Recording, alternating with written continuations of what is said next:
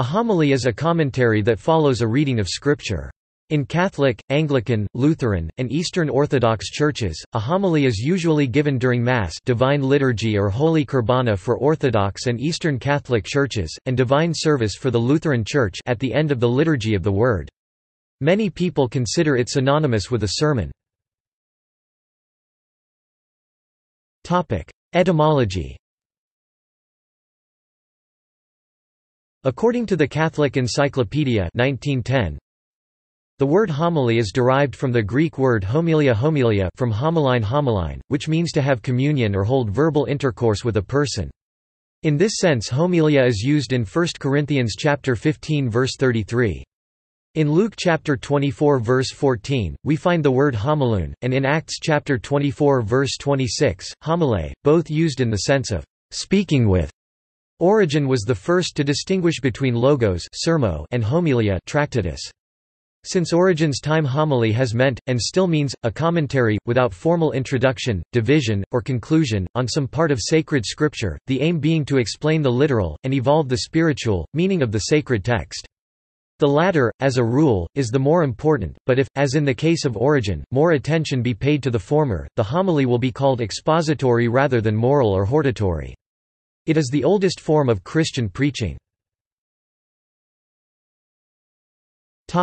Roman Catholic Mass homily The general instruction of the Roman Missal 29. When the sacred scriptures are read in the Church, God himself speaks to his people, and Christ, present in his own word, proclaims the Gospel. Therefore, all must listen with reverence to the readings from God's Word, for they make up an element of greatest importance in the liturgy.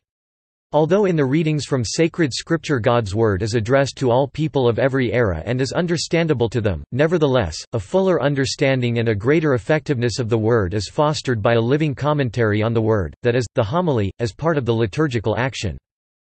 65. The homily is part of the liturgy and is strongly recommended, for it is necessary for the nurturing of the Christian life.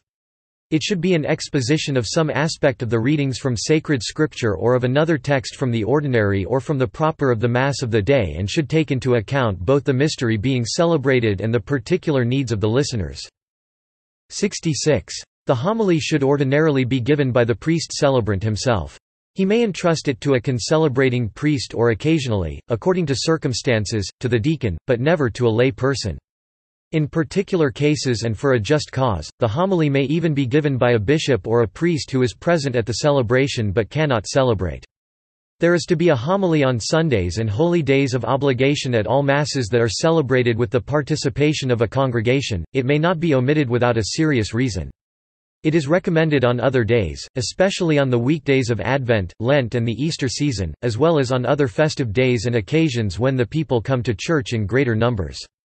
After the homily a brief period of silence is appropriately observed. Other senses